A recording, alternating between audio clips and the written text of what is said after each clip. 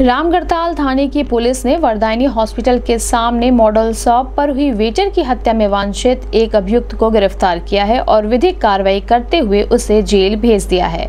जिसके संबंध में एसएसपी डॉक्टर विपिन ताडा ने बताया कि मुखबिर की सूचना पर रामगढ़ताल पुलिस ने वरदायनी हॉस्पिटल के सामने मॉडल शॉप पर हुई वेटर की हत्या में वांछित एक अभियुक्त को गिरफ़्तार किया है, जिसकी पहचान पवन देव पुत्र परमहंस निवासी जंगल चौरी थाना खुराबार के रूप में हुई है। एसएसपी ने बताया कि गिरफ़्तार अभियुक्त पर थाने में मुकदमा पंजीकृत हुआ था और वह वांछित चल रहा था, जिसको देखते हुए अभियुक्त को गिरफ़्तार कर जेल भेज दिया गया तथा शेष अभियुक्तों को भी जल्द गिरफ़्तार कर लिया जाएगा। इस संबंध में गोरखपुर न्यूज़ से बात करते हुए एसएसपी डॉक्टर विपिन ताडा ने कहा।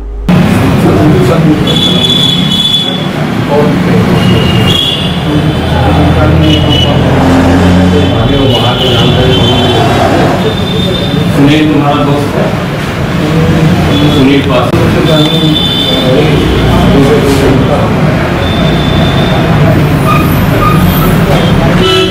बता दो कौन सा पहाड़ घूम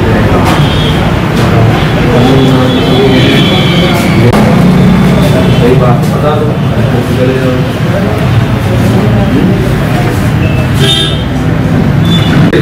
जी पवन देवी नाम तुम्हारा पिता क्या नाम है हैं? जंगल रामगढ़ जंगल जंगल रामगढ़ जंगल रामगढ़ जंगल रामगढ़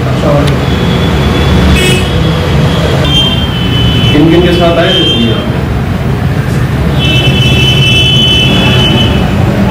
घटना की सवाल तुम्हारे साथ एक तकरीबन डेढ़ महीना पहले वरदायनी में एक मॉडल शॉप में एक व्यक्ति की हत्या हुई थी, जिसमें कि पुलिस ने अभी तक सात लोगों को गिरफ़्तार किया है। उसी क्रम में आज एक और व्यक्ति की गिरफ्तारी हुई है, इसको जेल भेजा जा रहा है। जो अन्य अभियुक्त हैं, उनकी भी गिरफ्तारी में पुलिस लगातार प्रयासरत है और इसमें आगे कठोरतम कार्रवाई की जाएगी पुलिस के द्वारा।